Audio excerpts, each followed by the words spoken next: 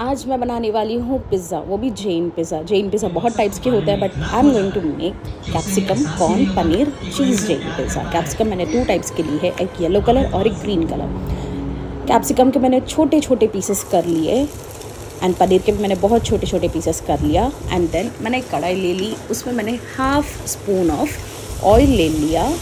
Then मैंने सारी सब्जियों को एक साथ ही उसी के अंदर पैन के अंदर मैंने डाल दिया मिक्स कर लिया, वो भी तेज़ आँच में मिक्स करके मैंने थोड़ा सा सॉस डाला है, वापस मिक्स किया एंड देन पेपर लिया देन सॉल्ट लिया। इन दोनों को मैंने ऐड करके एक बार वापस स्टिर कर दिया।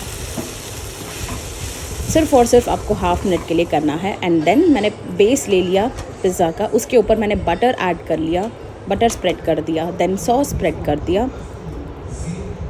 And yes it's up to you कि आप ओवन में बना रहे हो या पैन पर कर रहे हो। मैं तो ऐसा इसको दाल बाटी का बोलते हैं। मैंने ये वाला लिया क्योंकि मेरे घर पे यही वाला था। एंड यूजुअली मैं पिज़्ज़ा के लिए केक के लिए मैं मोस्टली मैं यही यूज़ करती हूँ।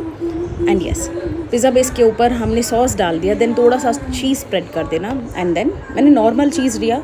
If you want you can add mozzarella cheese also उसके ऊपर जो टॉपिंग्स मैंने कर दी है जो हमने फ्राई किया था टोमेटो बचे थे तो मैंने वो भी डाल दिए उसके ऊपर। एंड देन उसके ऊपर वापस मैंने चीज़ डाला। देन कोरिएंडर से मैंने गार्निश कर दिया। तो बहुत ब्यूटीफुल लग रहा है, बहुत ही यमी था। यू प्लीज़ ट्राई इट बहुत ही यमी था। Thank you for watching